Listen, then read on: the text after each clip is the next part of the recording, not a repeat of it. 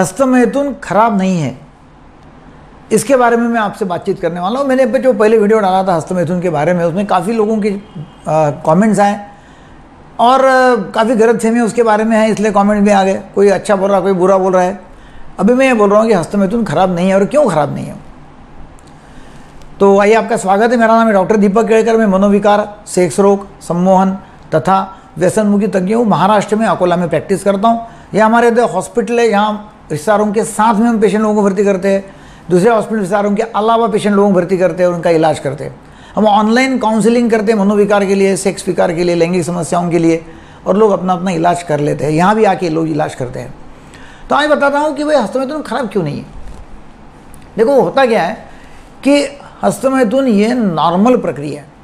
मगर हमारे पुराण में, वेद में, आयुर्वेदा में, जहाँ वहाँ यही लिखा हुआ है कि हस्तमैथुन खराब है। वहाँ ये लिखा हुआ है कि वीर्य जो है ना, वो पकड़ के रखना है। वो संभाल के रखना पड़ता है बॉडी में। क्योंकि वो बॉडी में हम संभाल के रखेंगे तो वो बहुत बड़ी ऊर्जा अपने दिमाग को भी देंगे और अपने बॉडी को भी देंगे। पूरा गलत है, ऐसा कुछ भी नहीं। वीर्य संभालने की चीज़ नहीं है कि हम बॉडी में संभाल के रखेंगे, उसका इस्तेमाल करेंगे। उससे कोई एनर्जी वीर्य कुछ मिलती नहीं है। वो वेस्ट प्रोडक्ट है। एक दो बार काम में आएगा, तीन बार काम में आएगा।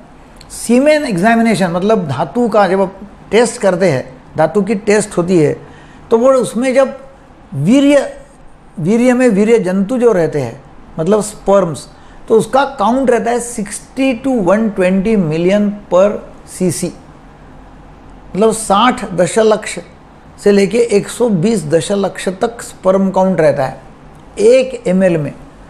मतलब यदि हर एक स्पर्म यदि काम में आता है तो एक एमएल में इतने बच्चे तैयार हो सकते हैं। साठ दशलक्ष से लेके 120 दशलक्ष तक इतने बच्चे तैयार हो सकते उसमें काम को चाहिए एक ही, क्योंकि एक ही काम में आता है।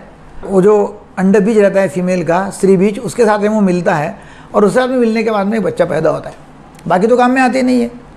बाकी तो कोई काम के भी नहीं है। मगर लोगों में ये गलत फहमी है कि नहीं नहीं, वीरनाश जो है ना, उसका यदि वीर्य का नाश किया तो मृत्यु आ जाता है। जल्दी, ऐसा कुछ भी साइंटिफिक आधार नहीं है, साइंटिफिक बेसिस नहीं है कि जो लोग वीर्य का नाश करते हैं या ब्रह्मचारी लोग हैं या जो वीर्य संभाल के रखते हैं, वो ज़्यादा साल जीते हैं, ऐसा कोई साइंटिफिक बेसिस उसको नहीं है।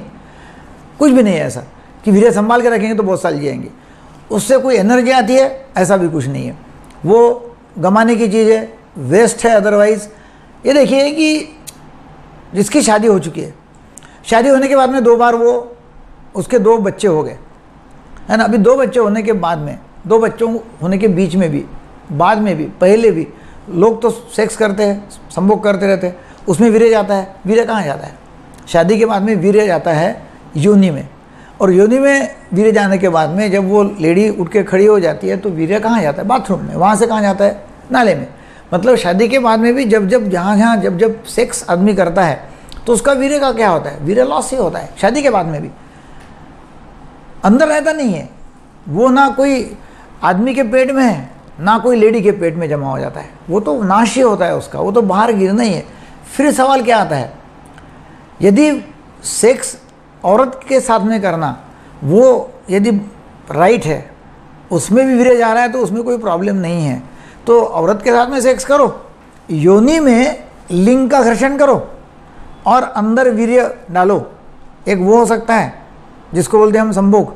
और नहीं तो योनि के बदले हाथ जो है मुट्ठी तो उसका जो है योनि जैसा छेद तैयार करो और लिंग के ऊपर घसो। ये यदि कर देते हैं तो ये वीर्य जो है, वो दोनों में भी गिरने वाला है। इसमें क्या है? इसमें योनि जो है, जो हाथ से की हुई है, वो हिलेंगी।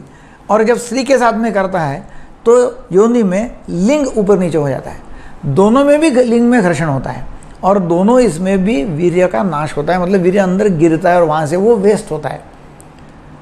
तो फिर कैसा वेस्ट होगा? तो काफ़ी जगह लिखा हुआ है कि एक वीर्य का बुन जो है तो एक वीर्य का बुन वो अस्सी खून के बुन के बराबर का है। कहाँ है ऐसा?